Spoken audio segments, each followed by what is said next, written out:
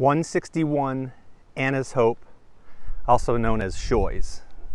Estate Shoys is one of St. Croix's premier gated communities with a beach um, and right adjacent to the Buccaneer Hotel and Beach Resort and Golf Course. And this is the cheapest house in this neighborhood, which is always the best investment. Right on the corner here, as you come in, this continues up.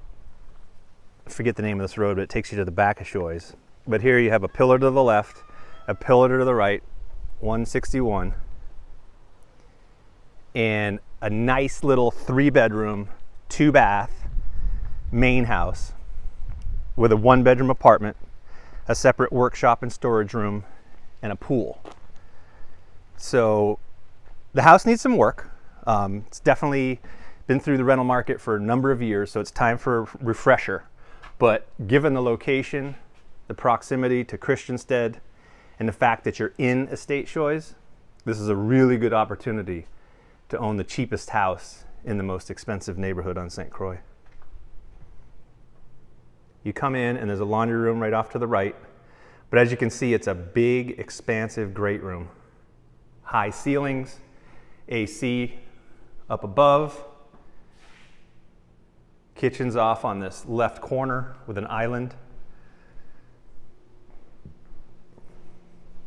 Comes with all the furniture that you see in it. The house is not occupied at the moment, so it's vacant and easy to show. But you got your dishwasher, stainless sink, fridge, oven, micro, and then an electric cooktop there as well. You got the Mexican Saltillo floors. This is a really big room for a three bedroom house. Off to the left, come through a little foyer, and to the right is the guest bath with a skylight and glass door you know, a little dated, but totally functional.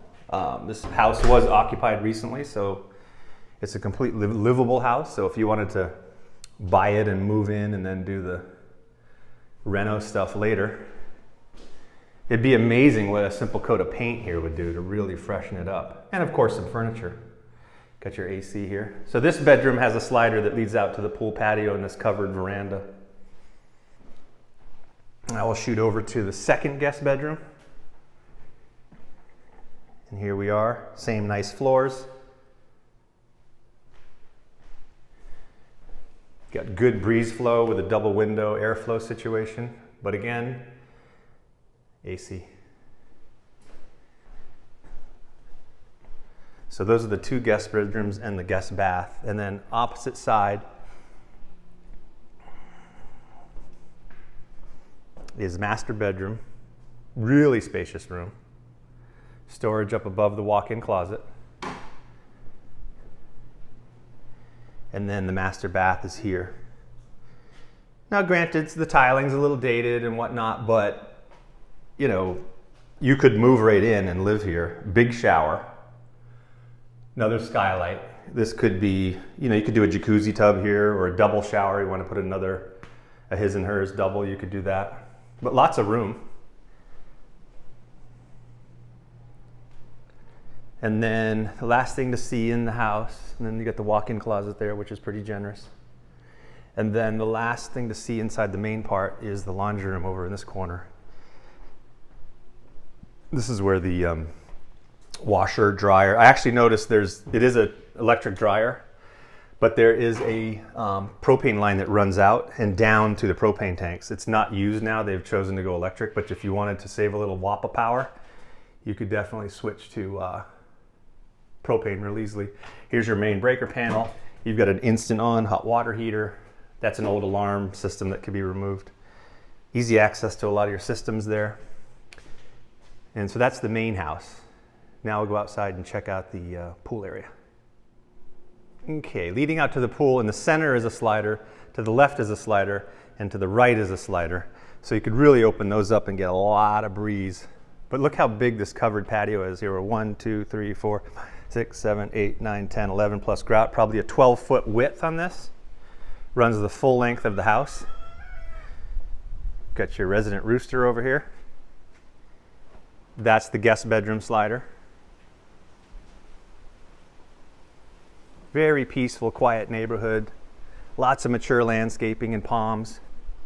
Your cisterns are out here. Here's one cistern cover. One of the benefits of having your cistern cover outside is if you're doing cleaning and maintenance on it, the guys aren't coming into your house and kind of messing up the floors. Everything's outside. Here's the other cistern cover. So I'm pretty sure, here's looking back to where I started the video over at the entrance. I'm pretty sure this runs cistern from here. Hi, Steph. Hi, Chris. All the way down to here, approximately here. Because underneath this whole area, which I'll show you in a minute, is the um, pool pump, cistern pump, and filter system, and where all the panel shutters are stored. As you can see, there's tracks below and above for aluminum panels throughout the whole house, and they're stored down here. The pool obviously is um, a subject to talk about. We've got, you know, issues with the deck. It's obviously um, sort of lived its lifetime, uh, time for a new pool area. So that's something you're gonna have to factor into the budget.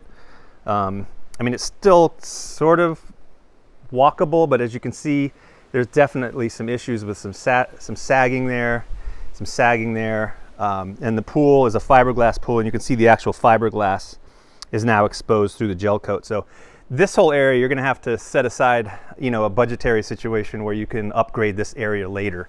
Now, in the meantime, if you wanna just get rid of it for now while you sit on it and think about how you're gonna design it, you could easily extend these wooden railways, which are reasonably inexpensive to build, in between these three arches and just have a normal patio here. And for now, just remove all of that while you plan your future. Because here you could obviously go out with a bigger concrete patio. You know, you might want to have a bigger pool, um, maybe an outdoor kitchen with a grill. There's a lot of, lot of opportunity to utilize this space in a much more efficient way. You know, you wouldn't have all the ups and downs with the pool the way it is now. Just have a nice new uh, concrete pool, unless you want to go back with fiberglass, that's up to you. But this could really flow nicely from this patio out to a nice new extended deck with an outdoor kitchen, etc. But that's something you got to definitely think about in terms of the future. You're going to have to um, address that pool area.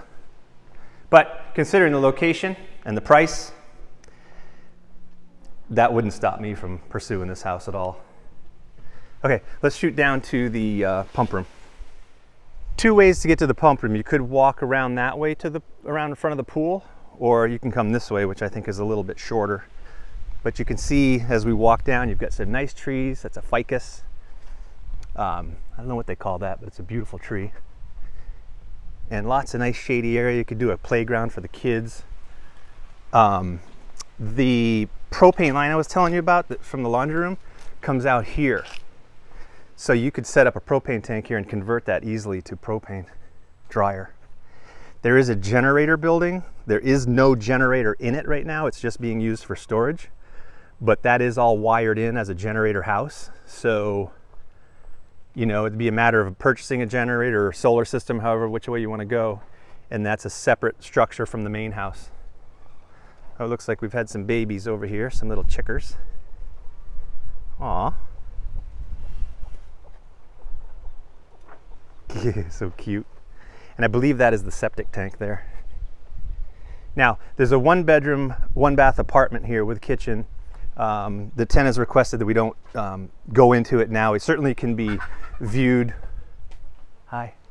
It certainly can be viewed for, um, for showings, but uh, they asked, requested that we don't go and uh, photograph it now. So we're honoring that request, which is quite reasonable. But here's a nice look, lots of yard totally usable yard space. And then there's a lower parking area for the apartment. So this is the apartment which is underneath the guest bedroom side of the house. And then through this door is our uh, you know, workshop pump room. A little pull string light. Nice and clean in here. Here's all the uh, storage for the shutters with all the nuts and bolts and hardware needed to install them. And then you've got your cartridge style filtration system, pool pump. Obviously this is all decommissioned at the moment based on the situation with the pool. But you got a brand new cistern pump that was just installed, pressure tank. You do have the UV Sanitron filter, triple filters, good setup. And then your two cisterns coming in, your east and your west, currently pulling off the west. And then you've got, it looks like home runs to most of the showers and uh, sinks and whatnot. So, electric water heater. Nice little workshop. I mean, you could utilize this space by putting in some, you know, counters and cabinets and stuff and really uh, gussy it up a little bit. But great little storage room, workshop area, and all the equipment is in good shape. There's a little bit of a sinkhole with this driveway, and the owner isn't sure what caused that. It's been developing over the last, I don't know, 20 years or so, but I think it's a matter of filling it, compacting it, and just paving over it again. But here you are down at the corner. As you can see, the neighbor across the street. You've got another neighbor across the street here. You got a vacant lot here, and then a house, and then another house. But great spot. I mean, if you can imagine all of this being taken out and redone, you could have a really pretty pool area up there that maybe had some stairs down to the front yard. Um, just a great spot in a great neighborhood. So if you're looking in this price range, you know, and you want to be in sort of an exclusive neighborhood, there's uh, by far nothing this affordable in Shoys. So this is your chance to take advantage of that opportunity and uh, raise your family in a super awesome neighborhood. So. that's about the whole story. Appreciate your watching, and if you want to check it out, give us a holler. set you up an appointment. We can show this on short notice because it is vacant at the moment. That could change. But for now, 161 Anna's Hope, ready to show. Thanks for watching, guys. Have a good day. Bye-bye.